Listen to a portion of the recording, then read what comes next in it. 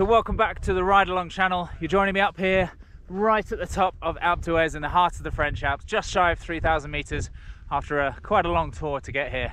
Where right now I'm going to show you how to check the four settings you should be checking on your transceivers every single time you go riding.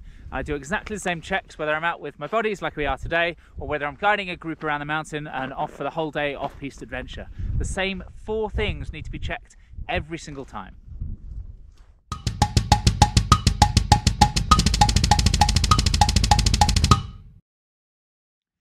Check number one is your battery. As soon as you turn your transceiver on, it's going to give you a battery readout.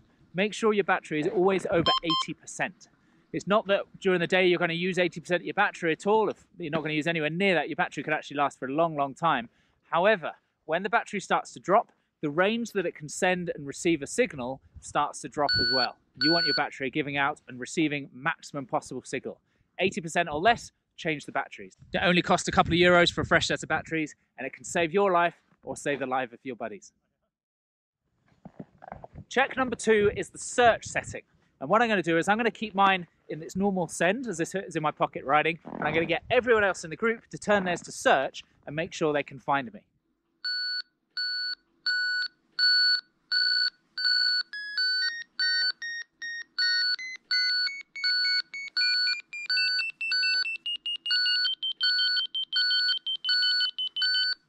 We can do it at roughly the same distance away, although it's not too important to start with. As long as they can find me within a few meters on their, on their transceiver, that's a good starting place to be at. So check number two, the search mode, with one of you staying in send. Check number three is a distance check. Now I'm going to keep mine in send for this because mine was already in send just before. All of the rest of theirs are still using theirs in the search mode. All I'm going to do is ski away from the team very, very slowly. On their transceivers, they should see the numbers increase, increase, increase. And as soon as I drop signal, as soon as their transceiver can no longer read where my transceiver is, they're just going to give me a little wave. And then they'll make a mental note of how far that distance is. And what we'll find is that each transceiver is slightly different. What we'll also find is that we'll probably go in and out of signal a couple of different times as the different antennae within the transceiver pick up or lose the signal as I start to slide away. So check the distance. That's the third thing to check. How far can you actually search and find someone? There's a wave. There's the second wave. Cool. So now we can all register. That's how far I can be found about, which actually a bit further than I thought. That's good. We must, well, I changed my batteries this morning. I'm thinking the other guys have changed the batteries very recently too, because that's a good long distance that this is working from. Probably, it's tough to see from the camera you're looking through just there, but it's probably about 25, maybe 30 meters. Check number four, the final check, is the send setting. So everyone who's just checked their distance puts theirs back into their pockets, back in the send setting, zips everything up and they're ready to ride. Me being the leader and being slightly ahead of the group down the hill, I'm going to flick mine into search mode.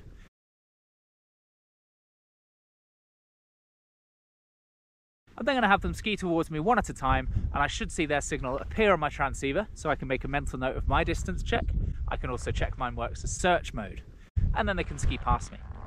As they ski past me, I'll flag their transceiver just to make sure my flag button works as well. That's the fifth and extra little bonus check you could do if your transceiver has one.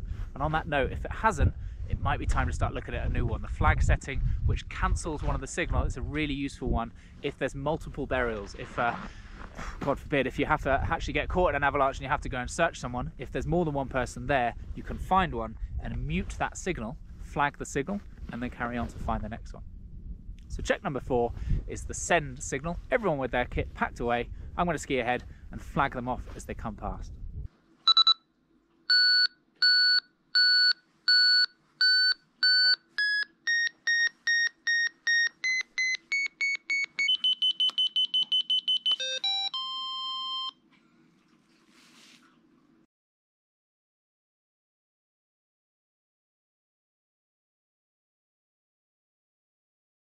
Once everyone has come past, we then check the four settings, the battery, the send, the search, and we know roughly the distance that we can send and search from.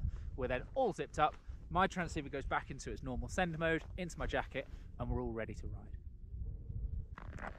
That's it for today. Time to go down and smash some powder just behind us and have a nice little ride.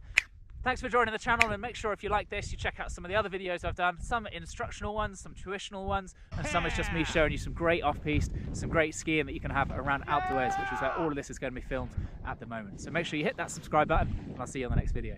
Thanks very much. Oh my gosh, every step was worth it. Oh.